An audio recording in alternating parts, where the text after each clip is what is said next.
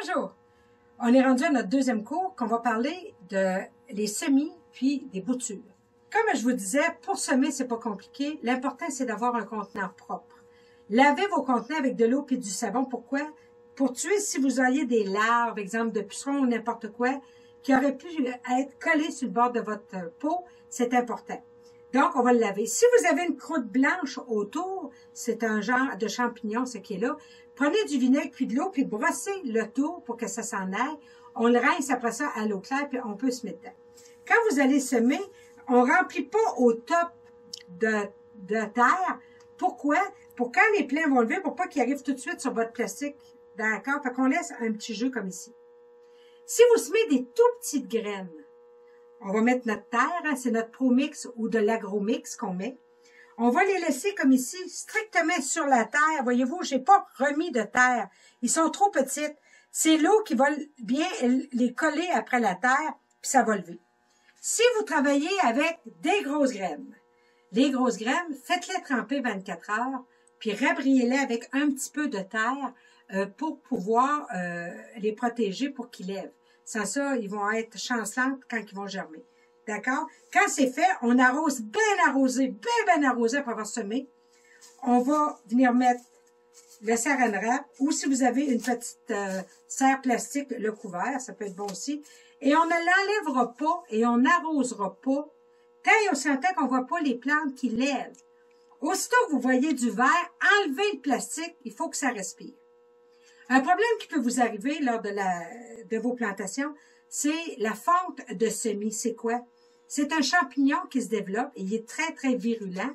S'il y a trop d'humidité ou si vous avez semé trop serré. Souvent, c'est parce que vous avez mis trop de graines dans un petit contenant. Donc, ce que, vous allez voir, c'est vos plants sont levés, puis vous voyez des ronds arriver, puis ça meurt, puis ça meurt, puis ça meurt. C'est la fonte de semis. Il se vend des produits sur le marché pour ça. Prenez pas ça, c'est pas bio. Ce qu'on va faire, c'est qu'on va repiquer les plants qui sont bons le plus vite possible dans une nouvelle terre par petites touffes. Parce qu'aussitôt qu'on brasse la terre, le champignon de la fonte de semis arrête. Donc, on va repiquer en petites touffes, même si les vraies feuilles ne sont pas là. Puis quand les vraies feuilles seront là, on reprendra touffe par touffe pour les repiquer un temps. Quand ça c'est fait, qu'on a mis notre plastique, comme je vous disais, on vient les mettre à la lumière 24 heures, puis on attend que ça soit levé. C'est pas plus compliqué que ça pour ce qui est des semences. Maintenant, pour ce qui est des boutures. Hein? Il y en a qui disent, mon géranium a l'air de ça. On ne jette pas les géraniums, comme je vous ai dit à l'autre cours. On va leur donner du 20-20-20 pour favoriser des nouvelles pousses. On les garde, les plants mères. Même quand on va avoir taillé plein de boutures, on les garde. Ces plants-là vont se refaire durant l'été, puis on va pouvoir comme ça les conserver. Un géranium, ça peut vivre entre 10 et 15 ans. Donc, ça va venir haut jusqu'à mon nombril. C'est un arbuste hein, dans le pays d'origine, donc on les garde. Euh, pour faire des boutures, c'est pas compliqué. On va prendre un couteau propre. Entre chaque bouture, on vient vaporiser de l'alcool à friction comme ceci sur la lame. On désinfecte pour pas emmener de maladies. On les suit comme il faut, puis là, on va les bouturer. On va bouturer à peu près une hauteur de 5 à 6 cm de long. Coupez pas long de. Voyons, le but, c'est pas de faire tes pots dans une semaine. On prend une bouture. On va venir enlever le plus possible de feuilles. Quand je dis le plus possible, on y enlève juste pour qu'il puisse faire comme il faut sa photosynthèse. Voyez-vous ça? Pas plus que ça. Hein? Donc, s'il y a des grappes de fleurs, on les enlève. Maintenant, la poudre d'hormones. Moi, j'utilise le Steam Root, OK? Steam Root, il y a le numéro 1, le numéro 2, le numéro 3. Le numéro 1, c'est pour les tiges d'eau, les bégonias, les impatientes, ces affaires-là.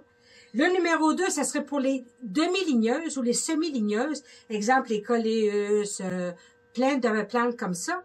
Et le numéro 3, c'est pour les ligneuses qui s'en vont vers le bois. Moi, j'achète que le numéro 3. Pourquoi? Parce que le numéro 3 fait aussi bien avec les, tiges d'eau puis les semi-ligneuses. Fait que cassez-vous pas à bine. Si vous achetez du Steamroot, prenez le 3. Donc, qu'est-ce qu'on va faire? C'est pas compliqué. On met un peu de Steamroot dans un plat. Mettez-en pas trop. Hein? On va venir remplir un plat avec notre euh, ProMix ou AgroMix.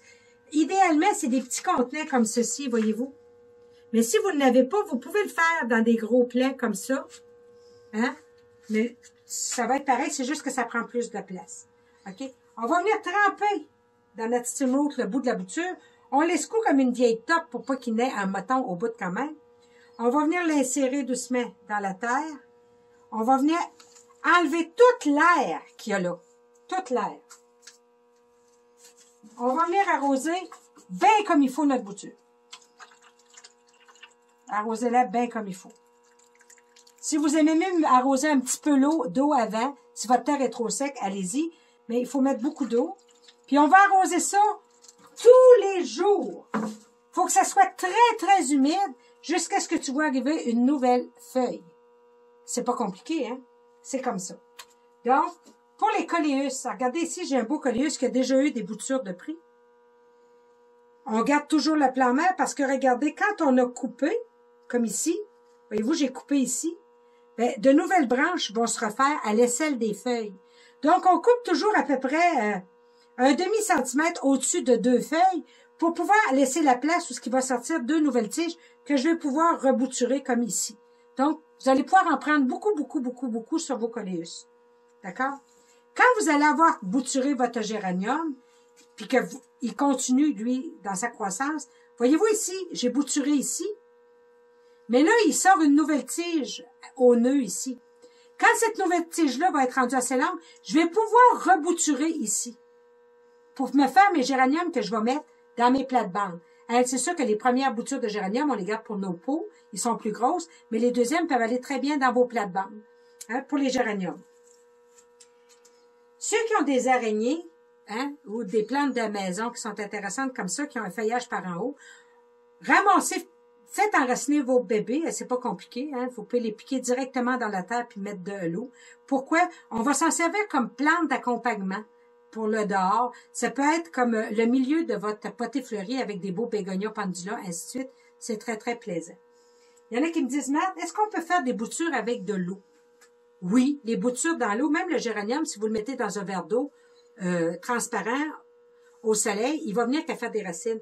Mais faites attention, si vous faites ça, un, c'est beaucoup plus long, et deux, attendez pas d'avoir beaucoup de racines avant de prendre votre bouture puis le mettre en pleine terre, parce que c'est un stress de passer dans de l'eau claire à la terre. Donc, allez-y quand même assez rapidement.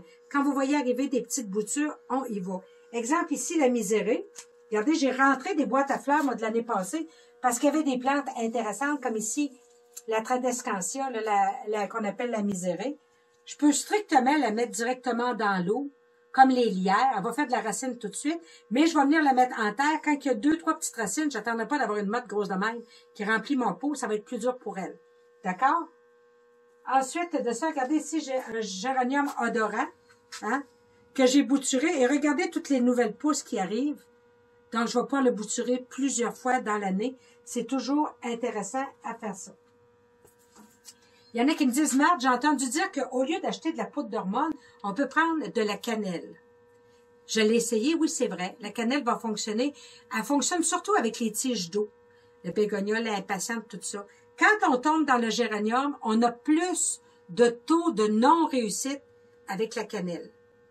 D'accord? Mais si vous bouturez, exemple, euh, du bégonia, de l'impatiente, de la misérée, hein, c'est des tiges d'eau.